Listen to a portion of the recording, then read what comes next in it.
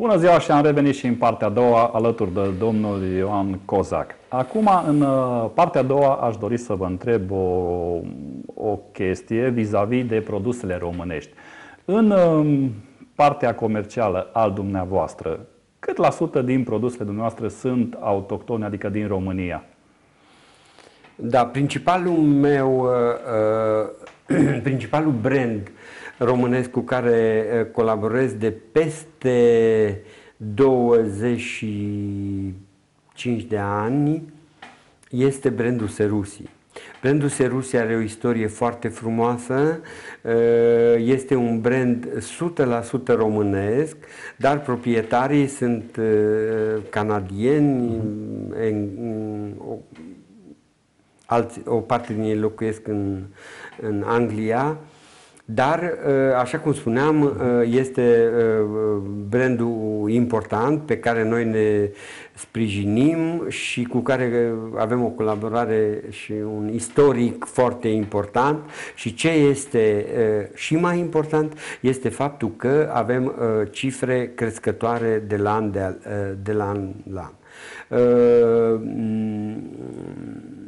așa cum v-am spus, uh, uh, reprezintă o, o, o Mm, un procent important din uh-huh. cifra noastră de afaceri, undeva 25-30%. Acum depinde de an, de colecții uh-huh. și așa mai departe. Cunosc foarte bine proprietarii, cunosc foarte bine directorul de creație, cunosc foarte bine uh, directorul general și tot colectivul și cu mândrie o spun că am avut contribuție an de an la lansarea colecțiilor uh-huh. ca și consultant Mm, eu nu sunt, eh, mă repet, eu nu sunt nici designer, eu sunt, fac styling pentru clienții pe care îi avem noi, uh-huh. dar având în vedere această experiență, de multe ori uh, ei mi-au cerut eh, părerea, m-au consultat și așa ca o glumă, ca o glumă uh, când uh, de multe ori într-un impas vis-a-vis de culori, vis-a-vis de uh,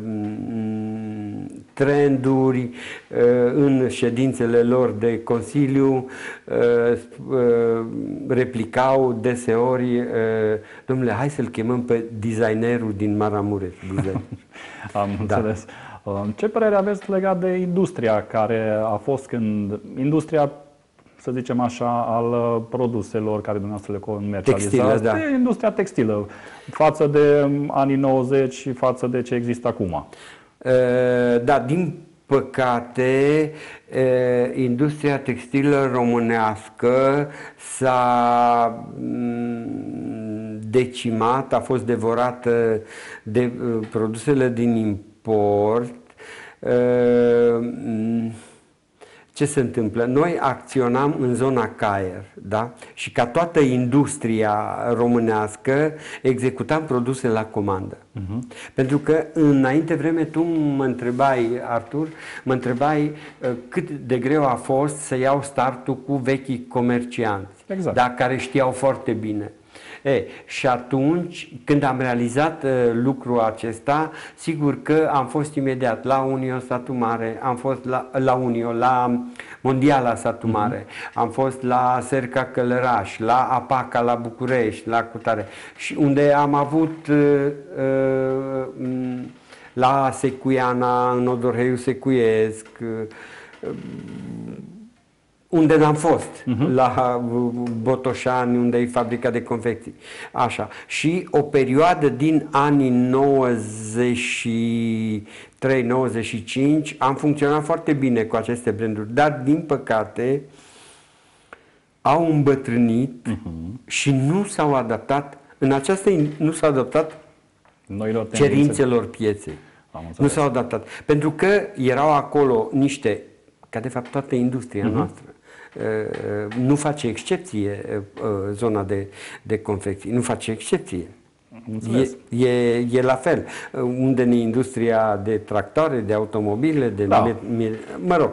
Așa. Și atunci, stând și îmbătrânind, alături de îmbătrânind și moral și fizic, cu o conducere care nu avea viziune, nu ieșea afară să uh-huh. vadă ce se întâmplă. Am fost invadați de produsele din import și așa a dispărut acest grup Serusi de care vă făceam uh-huh. vorbire, deținea la un moment dat în România patru fabrici, Serca Călăraș, Norada, uh-huh. Icos și fabrica din Bocoș, Botoșani. Și acum mai sunt două. Am înțeles. Mai sunt două. Pentru că a fost industria, a fost perioada aceea de înflorire uh-huh. a industriei textile după 90, când uh, eram loniștii Europei. Da, Am pentru înțeles. că salariul minim era unul, că aveam uh-huh. forță de muncă foarte calificată. Da, da, da. Foarte calificată. Zona Odorhei, uh, Târgu Secuiesc era specializată în confecții de uh, bărbați. Uh-huh. Se făceau pantaloni, se făceau costume așa. Zona Satu Mare, Baia Mare în confecții de damă. Uh-huh. Zona București cu Apaca, confecții de bărbați. Serca Călăraș, confecții de femei. Și așa mai departe. Am înțeles. Da, e ceea ce e și normal. La un moment dat, ca și unele, cum ziceți și dumneavoastră, din alte firme sau din alte domenii, într-adevăr nu s-au adaptat la noilor cerințe sau la noilor uh, trenduri. Cum noile, noile tendințe. Aici, în industria asta pe care, despre care facem mm-hmm. noi vorbire acum, dacă nu ești în trend, dacă nu ești în uh, actualitate, în, în actualitate, nu, nu realizezi mare lucru, nu realizezi, adică pur și simplu uh-huh. clientul te uită. Clientul este uh, clientul este foarte neîndurător. Am înțeles. Este un animal de pradă. Da, într-o oarecare măsură. Vorbim metaforic, pentru că el vrea ce e mai bun uh-huh. la cel mai bun preț. Da? da? Așa și este. atunci, dacă nu-i pui pe tavă ce dorește uh-huh. și dacă nu îi dai la prețul uh-huh. corect, n-ai făcut mare lucru. El te va uita instant. El nu are resentimente. Am înțeles. Ce părere aveți despre industria din Baia Mare? Că pe strada Luminișului există acolo niște hale unde într-adevăr se confecționează, din câte știu, atât încălțăminte cât și haine, din câte am înțeles. Uh, și din păcate, acele haine și încălțăminte se duc totul la export. Uh, nu știu, bănuiesc că acea industrie mai rezistă, dar designerii sunt din, din, din altă zonă sau primesc chiar niște modele care trebuie da. să le replice. Uh, industria de care uh, spuneai, industria de care uh, spuneai, oarecum este o prelungire a perioadei la 90, aici se întâmplă lonul. Uh-huh. Da. Și atunci, ca să ai o, ca să ai o, un succes, ca mm-hmm. să ai o reușită cu un anumit produs, trebuie să ai viziune. Da. Uh, trebuie să ai o viziune. Ori, nu avem încă pregătiți oamenii care să aibă această mhm. viziune. Uh-huh. Și atunci, uh, acolo se întâmplă următorul lucru. De exemplu, se, se lucra, știu precis, se lucrează Gucci, Dolce Gabbana și așa mai departe. Uh, vin toate toate lucrurile pregătite. Noi suntem mâna de lucru care asamblăm. Am avem tehnologia care trebuie m- și avem mâna de lucru. De exemplu, uh, m- Moncler, Rossignol, câte firme de top se lucrează la Toplița se lucrează, la, se lucrează în da, România. Da, da, da. Dar nu asta este foarte important unde se mhm. lucrează, uh-huh. ci este important uh, cine are viziunea produsului și, mm, și mai important este cine face controlul tehnic uh-huh. al produsului final. Nu contează unde un produs e făcut, că e în România, că e în Turcia, că e în China, în Thailanda, nu contează, dar cine este. Dacă țineți voi minte, uh, în Baia Mare și în perioada uh, uh, dinainte de 89 și după 89 era o serie de străini care erau tehnicieni da. la Unirea, tehnicieni la Băimăreana, uh-huh. la, mhm. dar aceștia erau trimiși Soli, da. Am înțeles, celor mari producători. Da, da, da, acelor producători. Și acum am văzut în ochii tăi uh, ceva așa uh, jinduind și jalnic. Oare de ce aceste produse uh, se fac în Baia Mare și noi nu avem acces la ele? Uh, da, adică noi suntem capabili să producem, să replicăm, dar nu suntem capabili în măsură să și vindem, adică să facem brandul nostru propriu. Ne, Aici. Da, și ca să înființezi un brand și ca să faci un brand de succes, trebuie să ai o filozofie, trebuie să ai un, o viziune asupra lucrurilor și atunci lucrurile funcționează. Dar atâta timp cât noi vrem să punem în raf seara, să luăm banii și mâine să uh, iar punem iar la poi și așa, nu va funcționa. Am nu va funcționa. Deci filozofia asta a, a, sau fenomenul ăsta al Mm, al modei, al vestimentației uh-huh. în general, este foarte complexă.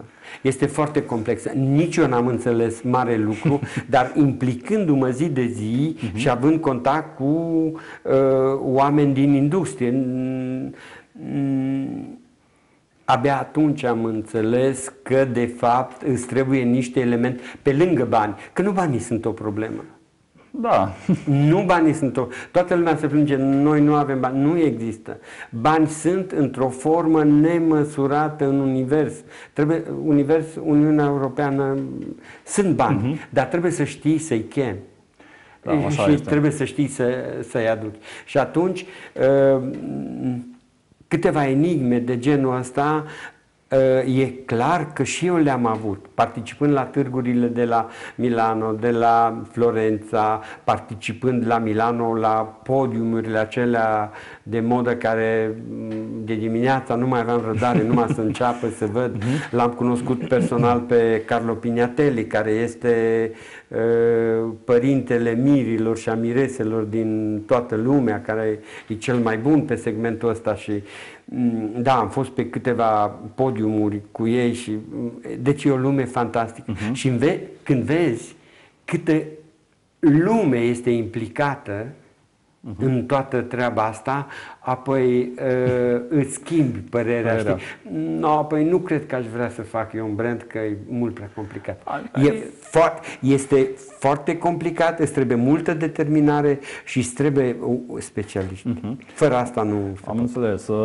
Mă referem la brand așa, să zicem, un brand local, un brand uh, român, un brand românesc care să rămână aici în țară. Nu neapărat să exportăm, să fie și în Milano și asta mă refeream. Industria în orice domeniu, din păcate, nu creează, suntem doar, facem niște replici.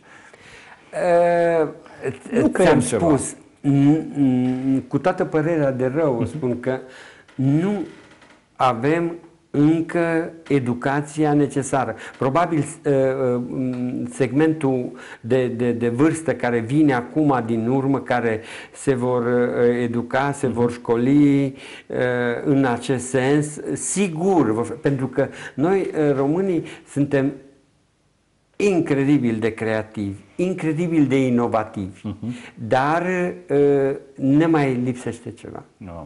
Ne mai lipsește ceva. Vis-a-vis de un brand local, uite, uh, pe lângă faptul că noi facem și comerț, avem și un atelier de creație, uh-huh. da? Mhm. care este micuț, peste 60 de ani probabil o să spun că îmi pare rău că n-am investit mai mult în această, uh, Asta în vreau, această chestiune. Asta vreau să vă întreb, cum de nu începeți dumneavoastră să creați niște... Uh, încă o dată, încă o dată spun, eu nu sunt creator, uh-huh. sunt stilist, dar mă joc cu chestia asta și fac. Avem uh-huh. un atelier unde se lucrează, unde, dar este la pâlpâială, la foc mic. Acum,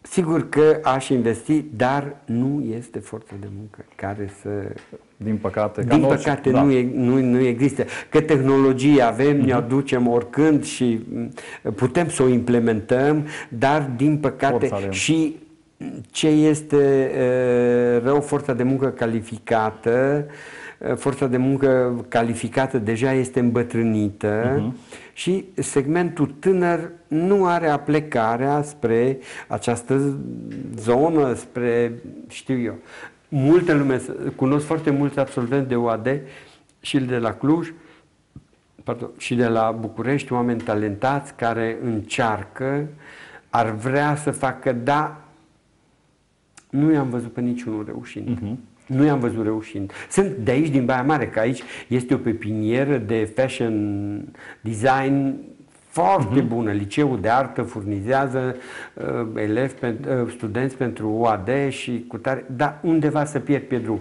Ceva nu funcționează. Am Nu-mi dau seama ce.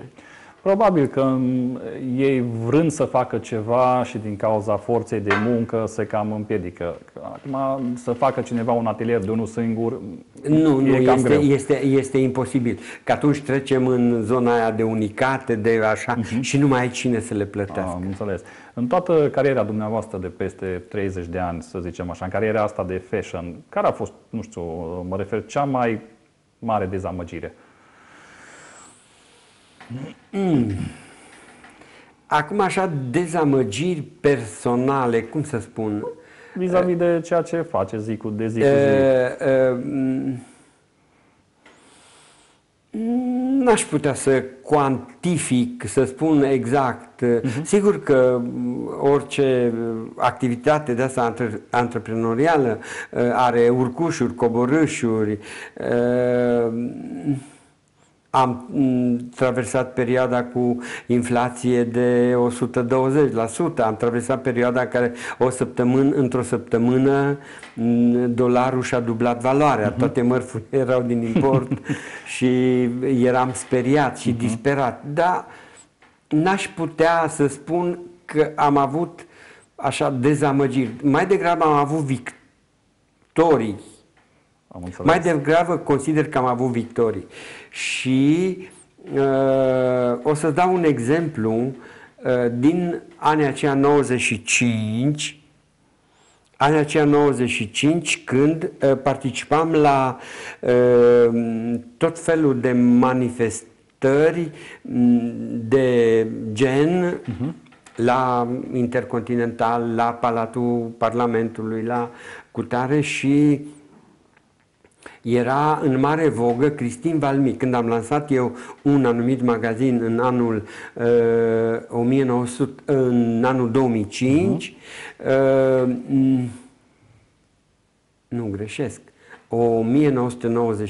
1995, uh-huh. da, în 95, că în 2001-2004 am lansat deja altceva, uh, așa, era o doamnă care, creatoare, venită, o româncă venită uh-huh. din mhm. America, se numea Cristin Valmi, și uh, noi eram pregătiți pentru deschidere și totdeauna recunosc că am fost un elitist, am iubit și iubesc elitele în sensul bun al cuvântului și am dorit să am branduri de elită și uh-huh. atunci cel mai elitist sau brandul elitist era acea, acest brand Cristin Valmi care era a avea bijuterii și aducea din uh, Statele Unite colecții deosebite pentru mm, România. Erau ceva fantastic.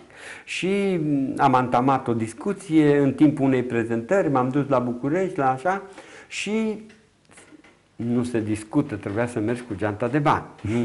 Deci aveam o valiză frumoasă care era plină de bani, atunci circula numerarul și așa. Și această doamnă Cristin Balmi m-a primit foarte călduros și respectos împreună cu soțul ei și mm, i-am făcut cererea mea de ofertă, i-am spus ce vreau să intenționez să fac, dar unde e baia mare asta? Era, nu, nu era fandosită, plecată de mult din România, mă rog. Mm, și i-am spus undeva în nord, a, lângă satul mare. da? Și mi-am făcut o colecție pe care am vrut să o achiziționez cu bijuteriile necesare și când am terminat, da, asta nu pot să da, asta da, na, doamna Valmin, nu înțeleg de ce. Păi asta vrea să le cumpere doamna mm, Năstase, soția premierului, care se lansase și ea într-o afacere. și îți dai seama că mi-a trebuit câteva ore până am convins-o că, de fapt, doamna Năstase ar putea să le cumpere sau nu, dar eu sunt cu banul Bani, acum și le cumpăr și asta o consider așa, le consider, o consider așa o victorie. O altă victorie, că ți-am spus, mi-aduc aminte mai mult de victorie. reușite decât uh-huh. de dezamăgiri. Ca mai dezamăgiri de astea, cum să spun eu, hai să le zicem uzuale și uh-huh. uh, diurne, mm, am avut ca și fiecare dintre noi. Da, da, da. Nu? Dar eu care am o mentalitate de învingător, de, obi- de obicei lumea, nu știu, se uită Uh, când, un, când o, o persoană sau, mă rog, cineva reușește și stă pe piață, cum sunteți dumneavoastră, uh, dar oare acea persoană nu a avut vreo dezamăgire, nu a avut vreun eșec sau ceva de genul? Tot timpul Dezamă, lumea... Dezamăgiri profesionale, profesionale, spun cu mâna pe inimă uh-huh. că nu le-am dat voie să intre în viața mea. Uh-huh. Uh, mici eșecuri. Da. Nu se poate. Achiziționezi o colecție și nu funcționează și o vinzi sub prețul de achiziție și așa mai departe. Dar asta nu le consider eșec. Uh-huh. Pentru că roata trebuie să se învârtă, trebuie să fii mai puternic, trebuie să fii deasupra vremilor.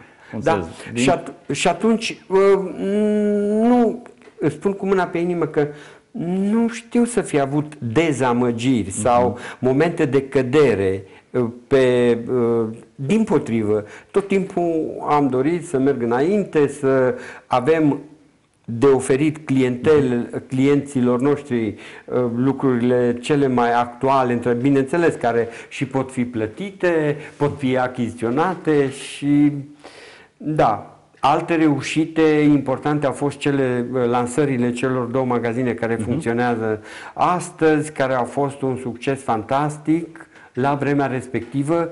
Sute și sute de oameni se înghesuiau să vină să vadă uh-huh. o anumită personalitate a orașului. S-a făcut uh, distribuția pe bază de invitații și o anumită personalitate a orașului, importantă uh-huh. la vremea respectivă, le spun sincer, mie mi-a scăpat din vedere în așa și a trimis, și a trimis șoferul să ne roage frumos să-l lăsăm și pe el înăuntru. Da? Nu spun că era sus de tot. No, da, da, da. Bineînțeles că ne-am deschis porțile și așa nu este o problemă. După aceea a fost o altă perioadă, a, că mă întrebai de perioade, a fost perioada sau etape. Mai degrabă uh, uh, e, cred că e foarte important cum am ars etapele.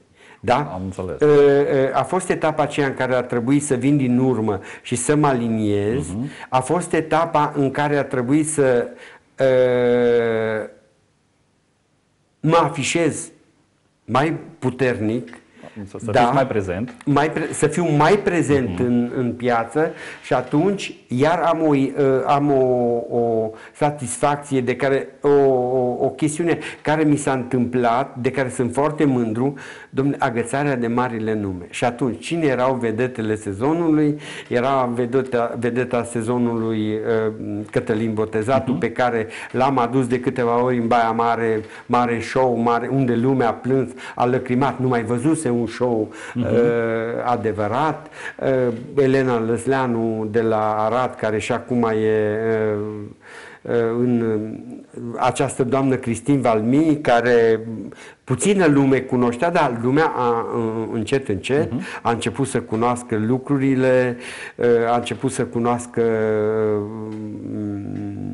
să știe, să aprecieze valoarea unei, că de fapt aici e un act artistic. Uh-huh. Da. Uh, exceptând producția de masă, nu? Este Evident. un alt act artistic și atunci lumea încet, încet s-a educat și uh, ți-am zis, acestea consider că sunt etapele uh-huh. care le-am ars și ce e foarte important că am fost conștient de ele de multe nu am fost conștient și le-am făcut intuitiv. Am înțeles. Uh, uh, campaniile de marketing. Uh-huh. De exemplu, uh, dormeam cu capul pe masă la Hotel Mara cu parte din colegii voștri mai vechi, George Pletea, cine era pe atunci, Liviu Bala, eram cu cinemarul cu asta și ne gândeam, fără o educație, cum trebuie să facem un spot publicitar. publicitar.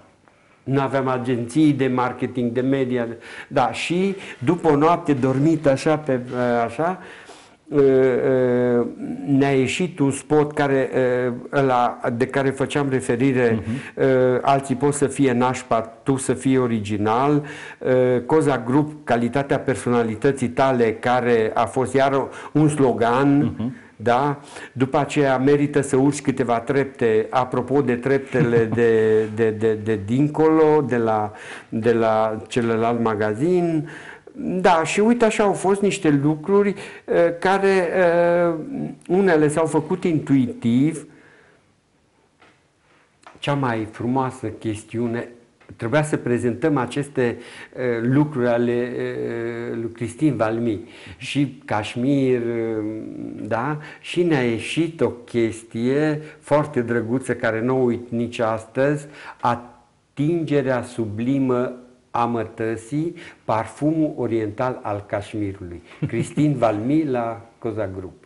Deci, sunt foarte mândru de aceste lucruri uh-huh. pentru că le-am făcut cu oameni care și acum ne întâlnim și ne amintim cu parfumul oriental. Da. Am, am înțeles. Uh, având în vedere că am ajuns la final de program, aș dori să vă adresez o ultimă întrebare. Spuneți-mi, vă rog, ce vă ține așa de fresh?